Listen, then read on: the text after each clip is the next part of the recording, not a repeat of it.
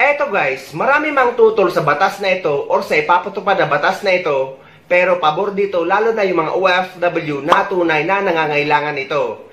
Lalo na yung mga nakakaranas ng pananakit o kaya naman ng panloloko. At isa din sa pwedeng grounds or maging dahilan para makapag-file ng divorce kapag naaprubahan na ang divorce bill.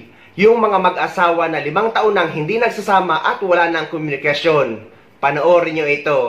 Ito naman ang balita ko mga kabalita. Ha? Aprobado na po sa komite ng Senado ang Absolute Divorce Bill. Mhm. Di ba? Oo, isa yan sa mga issue na ano ah, matagal na kuning pinagtatalunan dito sa Pilipinas. Napakatagal. Ano? Oo. At ah, in fact, no, sa report nga po ng Senate Committee on Women, Children, and Family Relations, pinalawak ang mga basihan ng absolute divorce.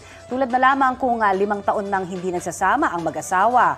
Kung may panghahalay bago o matapos ikasal, irreconcilable differences o kung hindi na talaga magawang ayusin ang relasyon.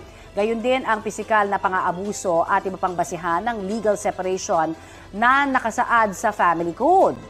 Kasama sa desisyon ng korte ang ah, financial capacity, ang ari-arian at maayos na custody arrangement kung may mga anak ang mag-asawa. Noong Marso, lusot na rin sa komite ng Kamara ang versyon nila ng divorce bill. Oh, ikaw ba? Ano ang iyong tingin dito? Hmm.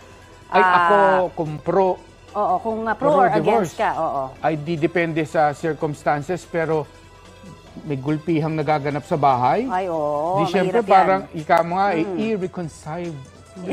Irreconcilable Sabi mo kanina, differences, oo. hindi na yun maano, di ba? Sabi nila, minsan kang sinaktan, paulit-ulit kang sasaktan. Ah, eh di ano pa ang ah, bisa ng ano, Kasal. ka- at Napakarami kasing OFW ang nagtatanong sa akin nito kung paano daw mag-file ng annulment o kaya naman ng divorce.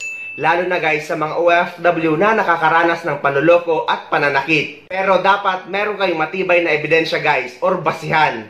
Dahil napakarami ding OFW na biglang nagiging single kapag napupunta dito sa ibang bansa kahit may asawa at anak sa Pilipinas. So, kung ako ang tatanungin kung pabor ba ako kapag naging batas na ang divorce or ang divorce bill, ang sagot ko guys ay yes. Lalo na sa mga OFW or sa kahit kanino man na may matibay na ebidensya na nakaranas ng panloloko at pananakit. Mga grounds o dahilan para makapag-file ng divorce sa Pilipinas. Panoorin niyo itong paliwanag ng isang attorney. Attorney Campo, ayan, talakayin po natin ng ah, simple lamang at mabilis itong uh, panukalang batas na divorce bill. Okay, so unang-una, ang divorce bill po ay nagkaroon ng mas maraming grounds para ikaw po ay makapag-file ng petition upang makipaghiwalay sa iyong asawa. Unang-unang ground dito yung kapag kayo po ay hiwalay na ng limang taon pataas, no? So, pwede na kayong mag-file ng divorce o maghiwalay na, no?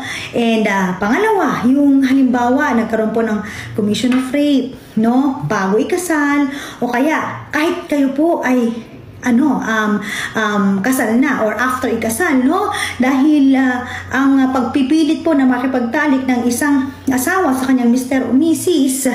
at ito po'y ginawa niya ng walang consent ng other spouse, eh ground na po ito para mapawalang bisa ang inyong kasal. And then pangatlo, sinasabi din po dito yung mga grounds sa legal separation. Marami po yun. If I'm not mistaken, sampu yun. Eh pwede nyo na po siyang gawing ah, ground din po sa pag-file po ng um, divorce. So halimbawa po dito yung paulit-ulit na um, sexual infidelity, marital infidelity, no? ng inyong mister na bababae. So ground po yan para sa divorce. O kaya drug addiction or uh, habitual alcoholism, alcoholism, yung laging umiinom. So pwede rin po yung ground for divorce. And then, kasama na rin po dito yung um, halimbawa, yung Pilipino po ay naka-obtain ng divorce abroad. So, dito po, eh, pwede na rin siyang kumuha ng divorce. No?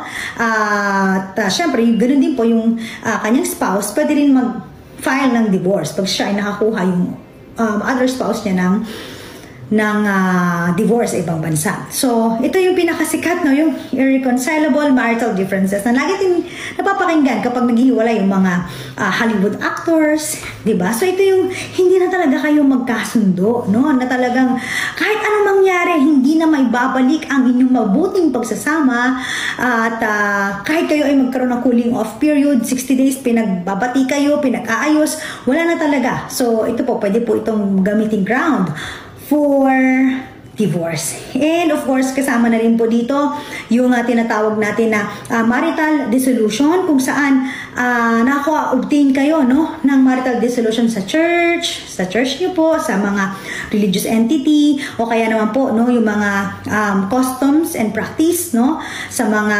indigenous culture community or indigenous people. So pag kayo po nakuha ng ganon, so pwede siyang ground para makakuha din po kayo ng divorce at kilalanin po ang inyong paghihiwalay. Anong epekto nito? Kayo po ay parehong magiging single at kayo po ay pwedeng magpakasal na po sa iba at makahanap ng pangalawang pag-ibig. Okay?